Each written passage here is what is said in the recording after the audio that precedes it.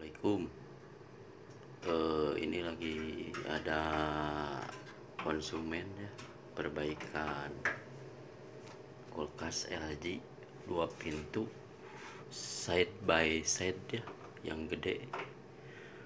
Kerusakan tidak dingin ya.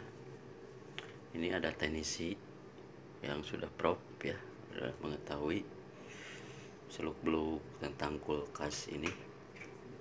Jadi coba eh, perbaikan termistor dulu. Ini pil eh, kapiler sudah diganti ya pipe kapiler. Ini dari Bandung ya teknisi Bandung. Sekian begitu ya untuk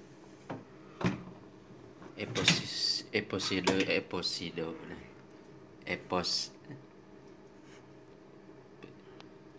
Eh, yang pertama ya jangan lupa ya subscribe sama komen dan share ya. Makasih. Assalamualaikum warahmatullahi wabarakatuh